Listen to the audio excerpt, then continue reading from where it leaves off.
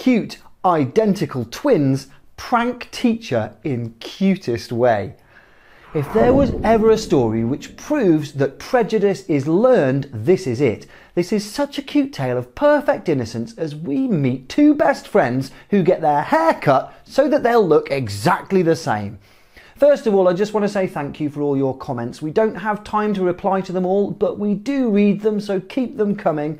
Thanks again to Noreen for her comment on our story of the pensioners who escaped the care home to go to a heavy metal festival. God bless these wonderful people for showing us it's never too late to fulfill your dreams. Quite right, Noreen. Hufflepuff Potato said they definitely made the right decision. I agree, my friend, yes indeed. So back to today's story.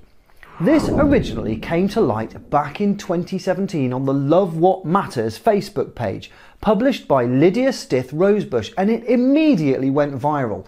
And if that sounds out of date, wait to the end as there's a little update for you. So, the story goes that best friends Jax and Reddy are absolutely convinced that they look identical. Now, to a cynical adult, there may be one thing which immediately jumps out at us, but not to these two boys. And if you look a little closer at the two of them as five year olds, you can see why. If you see past the skin colour, these boys do actually look remarkably similar. Well, these unprejudiced young men certainly looked past the skin colour. They didn't seem to see it at all as they embarked on an excellent prank to confuse their teacher. You see, as far as they could tell, the one thing that gave away who was who was that Jax's hair stood up while Reddy's was cropped short. That's when they came up with their cunning plan. If Jax cropped his hair like Reddy's, how on earth would their teacher be able to tell them apart?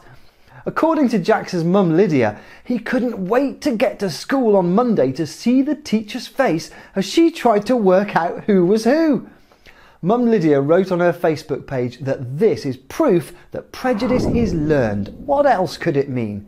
The only difference these two five year olds saw in each other was the style of their hair. Beautiful. As we said, this lovely story got a lot of attention back in 2017 with loads of people writing in and sharing other examples of kids who just don't naturally think in prejudiced terms. There was a teacher from Germany, for example, who commented that she had asked her class how many refugees they had in the room and was surprised and delighted by the answer from the children that there were no refugees, only kids. Brilliant, quite profound. From the mouths of babes, eh? Now, I said there was a little update, didn't I? I wonder sometimes if these stories are blown out of proportion a bit or if there's some urban myth involved, but we were so pleased to discover that Jax and Reddy are still BFFs, as the more recent photos show.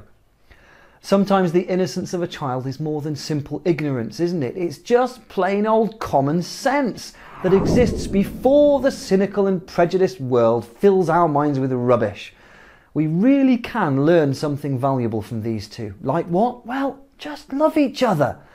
Let us know in the comments below if you have any stories like this, and don't forget to share this bit of hope for the future with your friends and family.